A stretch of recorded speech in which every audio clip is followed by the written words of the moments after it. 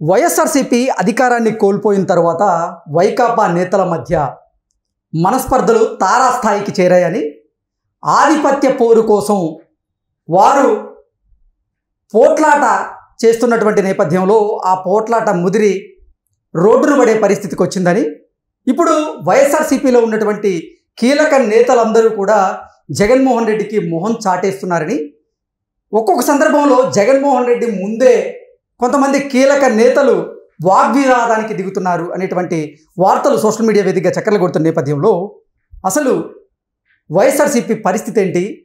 జగన్మోహన్ రెడ్డి వైఎస్ఆర్సీపీని నడిపించడంలో ఎందుకు తడబడుతున్నాడు అనే దాని మీద మనం విశ్లేషణ చేసుకునేటువంటి ప్రయత్నం చేద్దాం. ప్రస్తుతం మనతో పాటు ఉన్నారు ప్రముఖ రాజకీయ విశ్లేషకులు ప్రముఖ సీనియర్ జర్నలిస్ట్ దుర్గా వడ్లమణి గారు. వారితో మాట్లాడదాం. దుర్గా నమస్తే అండి. నమస్తే అండి. వైఎస్ఆర్సీపీ అధికారాన్ని కోల్పోయిన తర్వాత వైసీపీలో ఉన్నటువంటి కొంతమంది కీలక నేతల మధ్య ఉన్న విభేదాలు తారాస్థాయికి చేరాయి. వాళ్ళు ఒక్కొక్కరు ఆధిపత్య ధోరణి కోసం ప్రయత్నం చేస్తూ ఆ పోరాటం ముదిరి పాకాన పడి వారు రోడ్డును పడాల్సిన పరిస్థితికి వస్తుందని అలాగే కొంతమంది ముఖ్య నేతలు ఎవరైతే ఉన్నారో వైసీపీలో వారు జగన్మోహన్ రెడ్డికి అసలు మొహం చాటేస్తున్నారు. జగన్మోహన్ రెడ్డిని కలిసేందుకు కూడా వారు ఇష్టపడడం లేదు. జగన్మోహన్ రెడ్డి వైఎస్ఆర్సీపీని నడిపించడంలో తడబడుతున్నాడు అనేటువంటి వార్తలు వస్తూ ఉన్నాయి. అసలు ఏంటి వైఎస్ఆర్సీపీలో ఏం జరుగుతుంది? మనం నిన్నటి వరకు చూసామండి మీరు చూశారు కూడా. ఇప్పుడు షర్మిలది ఒక పెద్ద ఇష్యూ అవుతుంది మనం తీసుకుంటే కనుక అయితే ఇప్పుడు ఇవాళ కూడా వైఎస్ఆర్సీపీ షర్మిల మీద చాలా దారుణంగానే వ్యాఖ్యలు చేసింది. ప్లస్ తెలుగుదేశానికి వెళ్ళిపోతుంది ఇవిడ తెలుగుదేశానికి కొమ్ము కాస్తుంది ఇవన్నీ మాట్లాడుతున్నారు. అసలు షర్మిల గురించి మాట్లాడే హక్కు వీళ్ళెవరికి లేదు. నిన్న కూడా మనం అదే చెప్పుకున్నాం. ఎందుకంటే ఆవిడ ఒక పార్టీకి చెందిన ఆవిడ ఆవిడ మాట్లాడుతుంది అది ఆవిడ ఇష్టం. వీళ్ళు ఇక్కడ అన్నా చెల్లెలుగా మాట్లాడకూడదు. అంతకంటే అసలు రాజశేఖర రెడ్డి కూతురు అనే హక్కు వీళ్ళు ఎవరికీ లేదు. మనం ప్రతిసారి అది చెప్తున్నాం.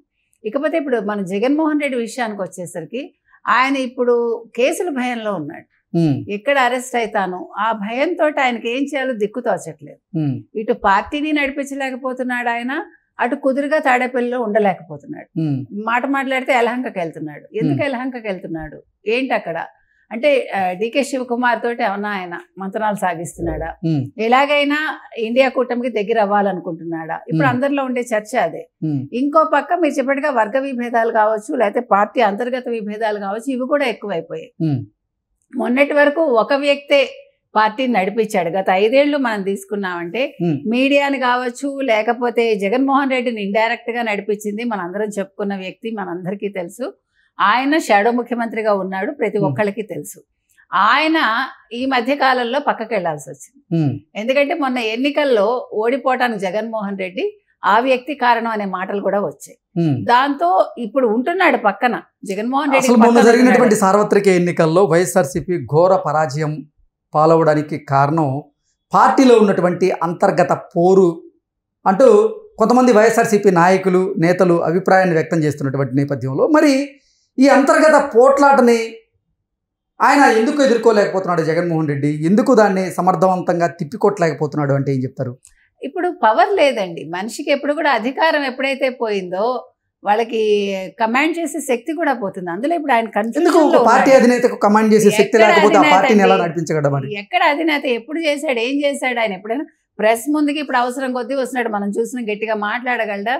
ఎవరో వెనకాలండి నడిపించాలి ఆయన్ని. మనం వంద సార్లు చెప్పుకున్నాం ఇప్పటికి. తల్లి అయింది చెల్లి అయింది బాబాయ్ హత్య అయింది ఇన్ని అయ్యాయి. తర్వాత ఒక షాడో ముఖ్యమంత్రి వెనకాలండి నడిపించాడు. ఆయన ఓటమికి ఒక రకంగా కారణం అయ్యాడు అంతకంటే కూడా మీరు ఇందాక చెప్పినట్టుగా ప్రతి ఒక్కళ్ళు ఎవరికి వాళ్ళు తిలాపాపం తలాపిడికడని ప్రతివాడు జగన్మోహన్ రెడ్డి ఓడిపోవటానికి వేరే రకంగా కారణభూతులయ్యారు అంతే.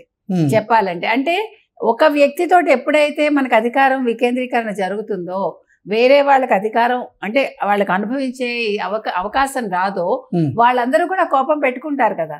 ఇప్పుడు జగన్మోహన్ రెడ్డి ఒక్క మనిషికే ఇంపార్టెన్స్ ఇచ్చాడు చెప్పాలంటే. ఎక్కడికక్కడ మిగతా వాళ్ళకి ఇచ్చినట్టే ఇచ్చాడు కానీ ఎవరికి కూడా ఆయనతో డైరెక్ట్ మాట్లాడే అవకాశం ఎక్కడిచ్చాడండి? ఎవరికైనా తాడేపల్లికి వెళ్ళే అవకాశం ఉందా? ఏ ఎమ్మెల్యే అయినా ఎంపీ అయినా ఐదేళ్ళలో జగన్మోహన్ రెడ్డి తోటి ముఖాముఖి మాట్లాడగలిగారా? లేదు కదా. ఎంతసేపు they have to go to two persons. ఒకళ్ళు షాడో ముఖ్యమంత్రి లేకపోతే ఇంకొక వ్యక్తి అంతే. వీళ్ళిద్దరి ద్వారానే వాళ్ళు వెళ్ళాలి తప్ప ఇంకా ఆయనకి డైరెక్ట్ వెళ్ళి చెప్పే పరిస్థితి అయితే లేదు. ఇకపోతే ఇప్పుడు ఇద్దరి మధ్య ఆధిపత్య పోరు మీరు అంటున్నారు. ఎవరిద్దరి మధ్య ఆధిపత్య పోరు ప్రధానంగా ఇప్పుడు- షాడో ముఖ్యమంత్రికి లే- మొన్నటి వరకు తిరుపతిలో ఉన్న ఇప్పుడు అంటే వాళ్ళ కొడుకు మొన్న అరెస్ట్ అవ్వబోయాడు కదా. ఫార్టీ వన్ ఏ పెట్టారు కేసు. ఆ వాళ్ళ నాన్నగారు అనమాట ఆయన వీళ్ళిద్దరూ కలిసి ఈ రోజు ఇప్పుడు ఆ తుడాకి సంబంధించిన తిరుపతి తుడాలో పనిచేసిన ఆయన ప్లస్ ఇప్పుడు ఈ షాడో ముఖ్యమంత్రి మధ్య ఆధిపత్య పోరు నడుస్తోందండి. అంటే ఏ విషయంలో ఆధిపత్య పౌరు అంటే ఇప్పుడు నెంబర్ టూ ఎవరు మొన్నటి వరకు నెంబర్ టూ గా ఇంకెవరైతే ఉన్నారో ఎంపీగా ఎవరైతే ఉన్నారో మొన్న రాజ్యసభలో ఉప చైర్మన్ చేత ఎవరైతే చీవాట్లు తిన్నారో ఆయనకి మనశ్శాంతి లేకుండా ఆయన ఢిల్లీలో తిరుగుతున్నాడు. ఇప్పుడు ఆయన్ని జగన్మోహన్ రెడ్డి పక్కకు పెట్టాడు అందరికీ తెలుసు. ఆయన ఇప్పుడు ఆయన పర్సనల్ చూసుకుంటాడా? ఆయన కేసులు చూసుకుంటాడా? ఆయన విషయాల్లో బయటపడతాడా?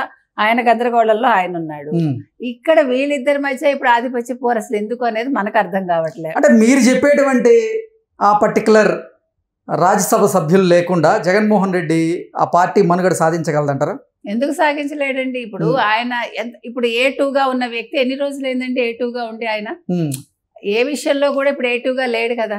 ఇప్పుడు మనం చెప్పుకుంటున్న ఈ సకల శాఖ మాతిలు మొన్నటి వరకు ఆయనే కదా తర్వాత అంతా కూడా ఆధిపత్యం అంటే తీసుకున్నాడు. జగన్మోహన్ రెడ్డి కేంద్రంలో లాబింగ్ చేయలేడు. కేంద్రం నుంచి వైఎస్ఆర్సీపీకి కావాల్సినటువంటి ఏదైనా సరే లాబింగ్ చేయాలి అంటే మీరు చెప్పేటువంటి ఆ పర్టికులర్ ఏటునే చేయగలడు అనేటువంటి విశ్వాసంలో ఉన్నారు నిన్న మొన్నటి వరకు. వైసీపీ వర్గాలన్నీ అవునండి. ఇప్పుడు మరి ఏటు స్థానం కోసం ఎందుకు ఈ పోట్లాట? ఇప్పుడు వీళ్ళు ఏ టూ స్థానం కోసం కొట్టుకున్నా కూడా ఆయన్ని మించి అయితే వీళ్ళు వెళ్ళలేరు. అంతవరకు మనం గ్యారంటీగా చెప్పగలం. ఎందుకంటే ఢిల్లీలో లాబింగ్ చేయగలిగేది ఆ ఏ టూనే వీళ్ళిద్దరు ఎంత కొట్టుకున్నా వీళ్ళు రాష్ట్రం వరకు పరిమితం కాగలరు తప్ప కేంద్రం వరకు వెళ్ళే అవకాశం అయితే వీళ్ళకి లేదు. ఎందుకంటే మొదటి నుంచి ఈయన రాష్ట్ర వ్యవహారాలు చూసుకున్నాడు ఆయన జిల్లా వ్యవహారాలు చూసుకున్నాడు ప్లస్ ఓవరాల్గా పార్టీని నడిపించడానికి ఒక ఐపాక్ ఒకటి పెట్టుకుని ఒక వంద కోట్లు వాళ్ళకి ఇచ్చి వాళ్ళు చెప్పిన ప్రకారం వీళ్ళు నడిచి పార్టీని అధోగతి పాలైతే చేసుకున్నారు వాళ్ళు. ఒక రకంగా ఐపాక్ అతని రిషి ఎవడైతే ఉన్నాడో వీళ్ళని చాలా మిస్లీడ్ చేశాడండి జగన్మోహన్ రెడ్డిని ఎస్పెషల్లీ. అసలు ఒక ముఖ్యమంత్రి అనే వ్యక్తి తాను ప్రెస్ని ఎక్- ఎప్పుడూ కూడా అతను ఫేస్ చేయాలి తప్ప ఒక సెకండ్ పర్సన్ వచ్చి అంటే సంబంధం లేని వ్యక్తి. అతను ఒక ఎమ్మెల్యే కాదు ఒక ఎంపీ కాదు ఏది కాని వ్యక్తి వచ్చి ప్రతిరోజు అతను ప్రెస్ మీట్ పెట్టి అతను బ్రీఫింగ్ ఇవ్వటం ఏంటండి? అక్కడే జగన్మోహన్ రెడ్డి తెలివి తక్కువతనం బయటపడిందిగా. అసలు నిజంగా పవర్ అనేది ఎవరి చేతిలో. మీరు అన్నారు ఇందాక. ఎందుకండి నడిపించలేడా అని. ఉమ్, when he has the power he doesn't have a power ఎప్పుడు కూడా లేదు అతనికి. ఆ Hmm. కమాండ్ చేసే శక్తి ఉండాలండి. ఇప్పుడు మీరు చంద్రబాబు నాయుడు గారిని తీసుకోండి మనం ఒక ఉదాహరణ చెప్దాం. Hmm. ఇప్పుడు పదేళ్ళు ఆయన ముఖ్యమంత్రి చేశారు ఆల్మోస్ట్ Hmm. తర్వాత పదేళ్ళు ఆయన పదవిలో లేరు. మళ్ళా ఐదేళ్ళు ఆయన ముఖ్యమంత్రి అయ్యారు.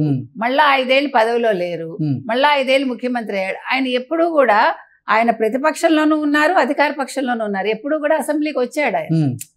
అధికారం ఉన్నా లేకపోయినా. అంటే మన ఉనికిని మనం కాపాడుకోవాలి. కింద పడ్డా పైకి లేవాలనే తత్వం ఉండాలి మనిషికి. అది జగన్మోహన్ రెడ్డికి లేదు. నాకు పదకొండు సీట్లే వచ్చాయి. నేను ఫేస్ చేయలేను. నాకు హోదా ఇవ్వండి అని అడుక్కుంటున్నాడంటే. అంతే కదా. ఆయనకి అధికారం లేదు. ఆయన ఒక టీమును ఆయన లీడ్ చేయలేడండి. ఆయన రాజశేఖర రెడ్డి కొడుకుగానే ఆయన వచ్చాడు అంతే. ఆయనకి ఇండివిజువల్గా ఆయనకి ఏమీ లేదు. జగన్మోహన్ రెడ్డి ముందే వాగ్వివాదానికి దిగినటువంటి ఆ ఇద్దరు వైఎస్ఆర్సీపీ నేతలు ఎవరంటే ఏం చెప్తారు? సకల శాఖ మాతిలు తర్వాత అంతకు ముందు మీరు చెప్పి తుడా చైర్మన్గా చేసిన వ్యక్తి వీళ్ళిద్దరి మధ్య సాగుతోందండి. అయితే ఈ ఆధిపత్య పోరు ఎవరికి వచ్చినా ఒకటే. ఇప్పుడు ఎవరు నెంబర్ టూ ఉన్నా కూడా అక్కడ ఒరిగేదేమీ లేదు. ఈ కొట్లాటలు మిగులుతాయి. అది కూడా జగన్మోహన్ రెడ్డి ముందు కొట్టుకునే స్థాయికి వచ్చారంటే ఆ భయం పోయిందన్నమాట జగన్మోహన్ రెడ్డి అంటే. నిన్నటి వరకు పవర్ ఉన్నప్పుడు భయపడ్డ పెద్ద మనుషులందరూ. ఈ రోజు జుట్టు జుట్టు పట్టుకునే స్థాయికి వచ్చారంటే. జగన్మోహన్ రెడ్డి స్థాయి ఏ అంటే ఆయన ఏ రకంగా దిగజారాడో ఇక్కడ అర్థమవుతుంది మనకి.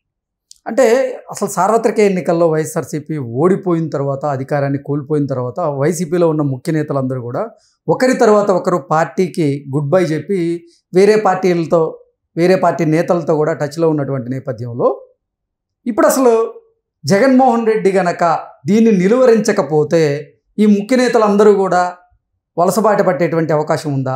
ఈ పార్టీని వీడి అంటే ఏం చెప్తారు? వీళ్ళు వెళ్ళిపోవడానికి రెడీగా ఉన్నారండి. మనం నిన్న బుగ్గన గారిని చూసాం కదా. బుగ్గన బీజేపీకి వెళ్ళాలనుకున్నారు.